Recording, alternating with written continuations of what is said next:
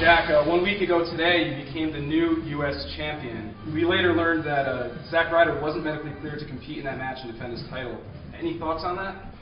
Yeah, I'm really glad you asked me about that. Um, I sincerely didn't know Zack was wasn't medically cleared.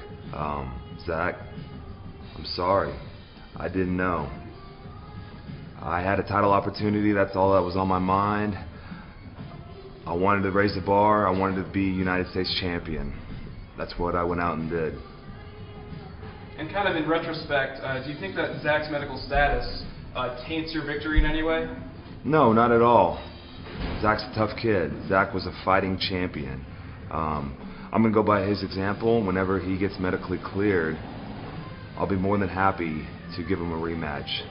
In fact, I'll be looking forward to it.